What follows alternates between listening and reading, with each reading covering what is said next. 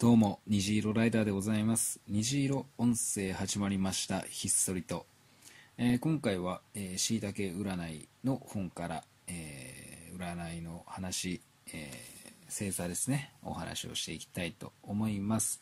え今回は水亀座いきたいと思います。え一緒に読んでいきましょう。ということで、水亀座を表すキーワードの一つに、封印というものがあります。封印。ほうあなたには勘とロジック大きく2つの要素があるのです。水亀座ってその勘の力がすごく優れていてよし面白そうだからやってみようとかこれなんかよくわからないけど私が関わらなければいけない気がするという感覚的な判断で人生を大きく動かしていきます。はいはいはい。なんとなくね僕の本当いろんな水亀座の知り合いますけど感覚的っていうのすごい当てはまるなっていうのは感じます、うん、頭で考えずにそう面白そうだからとか楽しそうだからとかそっちでいろいろ判断する人多いなっていうのがぼんやり僕の中ではありました。続きを見ます。同時に反省する力が強すぎる。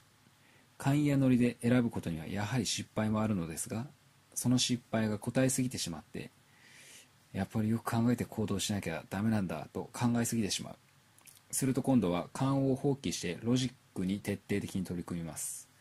何かあったら勘に戻る。失敗してもネタにすればいい。という気楽さを持つとあなたにとっての天性の輝きとひらめきが戻ってきますよ。あなたは考えをまとめるためにこの世に生まれてきたわけではありません。こういうパターンだとうまくいかないんだ。ということでいちいち反省しすぎないでください。あなたは発見するために生まれてきたのだから。と書いておりますね。おお、えー仕事。極端にのめり込む。これがあなたの仕事に対する基本的な姿勢です。そして極端というのはあなたを表すキーワードになります。水亀座の人って常に自己認識で自分は中途半端だって思っています。だから中途半端という状態を出してとにかく自分が納得する満足する日を迎えたいという思いを胸に秘めてそれこそ倒れるまでの努力を自分に課します。どうやって息抜きをしているかというとこれまた息抜きの趣味の時間を倒れるまで自分に課します。極端とか限界とか徹底的にというのはあなたの天性の才能なのですね。ほうほうほう。息抜きの趣味の時間を倒れるまで自分に課すと、まあ、なかなか面倒くさいですね。あなたはどこかで中途半端な自分を受け入れてみんな中途半端だと思える日が来ます。仕事に関しては何をやっても絶対に1回は燃え尽きます。燃え尽きた時には中途半端になれるチャンスだと思ってください。中途半端を丁寧に極めていくとそこに必ず違う光が入ってくるから。あなたが目指すべきはプロの中途半端なのです。優しいね。続いて恋愛水亀座って思春期の影響が強くてあなたが出会う人に懐かしかったあの頃を思い出させる力を持っているのです。出会う人に大人になって封印してきてしまった。その人の大切なキャラクターの一部を揺さぶり蘇らせる不思議な力を持っています。だから水亀座ってすごく才能がある人なのにどこか人と向き合うことを遠慮しちゃうところがあります。この人をいたずらに揺さぶってはいけないって。でもこれは断言させてください。あなたは人の心を揺さぶるのが仕事なのですよ。ほう。なるほどね。あなたは今本当に人を愛していますか？とかそういうことを揺さぶって相手と共に答えを出していくのがあなたの愛情面での仕事なのです。あなたが人を好きになるのに遠慮はいらないです。あなたが好きになった相手ってあなたと話すと必ずあなたの雰囲気の中に懐かしかった時代のことを思い出しています。あなたはそこを優しく拾ってそういう不安定なあなたが好きとお兄ちゃんやお姉ちゃんのように見守ってあげてほしいのです。うん。懐かしかった時代。いや確かにうん。それはちょっとあるのかもしれない。ちょっと言い方変えると水亀座の人って結構変わんないんですよ。見た目とかは変えるけどなんだろう真にあるものその人が持ってるものとか昔から好きなものとかなんかそこが変わらない。それをちゃんと自分で明確化してる感じもあってなんかたまに当たり前のように話されると知らねえしと思う。んですいや私これ好きだったでしょみたいな感じで言われるといや知らないみたいな。その人にとってはもう何十年も前からその好きだっていうのがあるからもう当たり前なんですよね、うん、水亀座ってそういうところあるね。続いて水亀座とお羊座のえ相性。この2つの星座は無邪気さを取り戻すために惹かれ合うという組み合わせです。水亀座の人って10代の頃にちょっと頭が良すぎてしまう人が多かったりします。子供って無邪気なところがあるじゃないですか。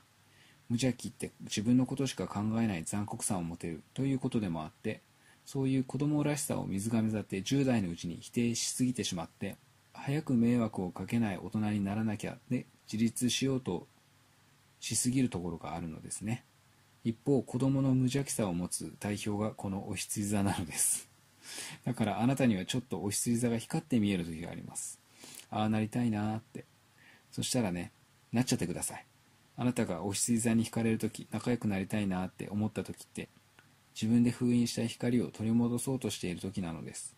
無邪気になってそこで反感を買ったり迷惑をかけたらごめんねって謝ればいいだけだから。なるほどね。子供の無邪気さを持つ代表が俺なんだ。俺っていうかお羊座なんだ。そうなのかな。無邪気なのかな。自分が無邪気だと思ったことが一度もないんだけどな。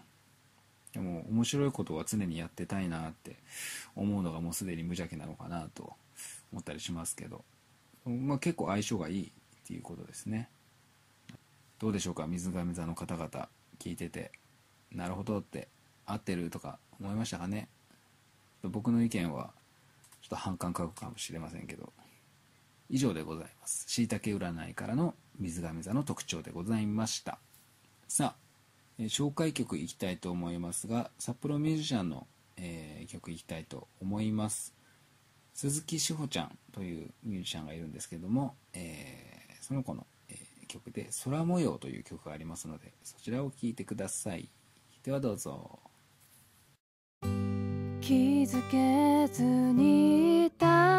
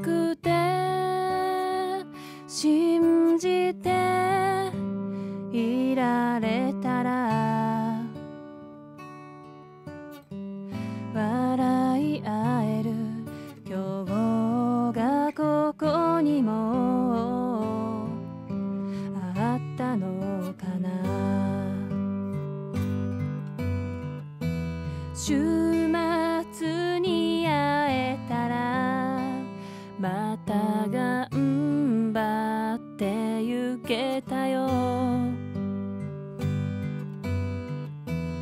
伝えたい言葉はまだたくさんある。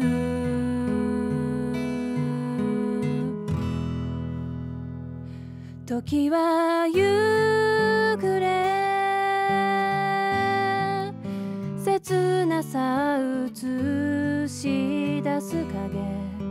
アスファルトに伸びた。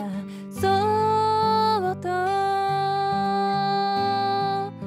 この手伸ばしてみたよ。ねえ気づいてほしい。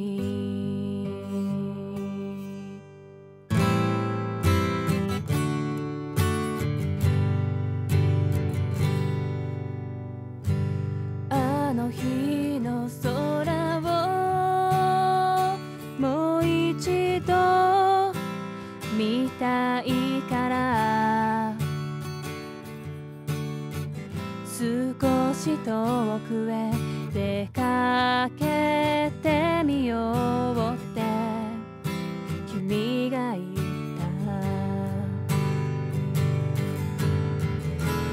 た。誓った約束なんて。忘れられるわけない。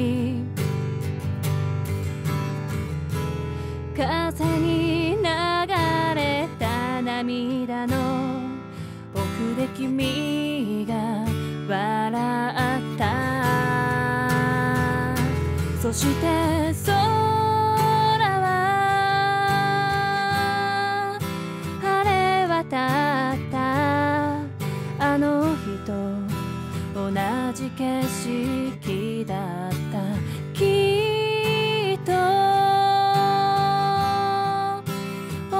じ心を持った君とだから気づけた。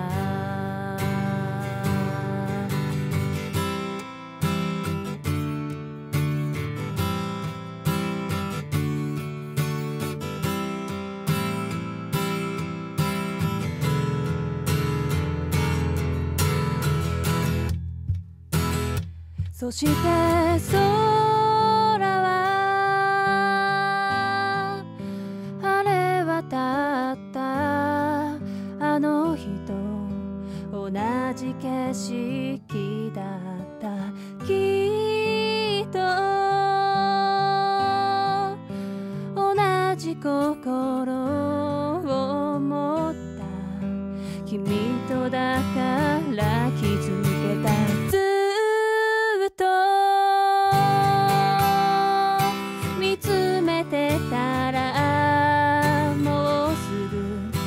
夜が明け